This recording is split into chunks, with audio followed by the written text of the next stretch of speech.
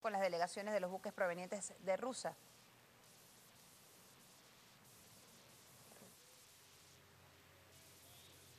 El general en jefe, Vladimir Padrino López.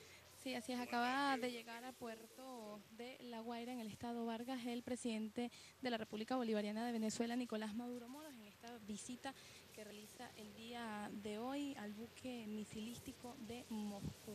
Es recibido en esta oportunidad por la almirante en Carmen Meléndez, ministra del Poder Popular para la Defensa, por el general en jefe Vladimir Padrino López, comandante estratégico operacional, y por el almirante Gilberto Pinto Blanco, comandante general de la Armada Bolivariana. También, por supuesto, el actual gobernador de esta entidad varguense, Jorge Luis García Carneiro, hace acto de presencia en esta visita que realiza el primer mandatario nacional a el puerto de, de La Guaira, aquí en el estado Vargas. Esta visita que realiza el mandatario nacional se debe justamente a la llegada el día de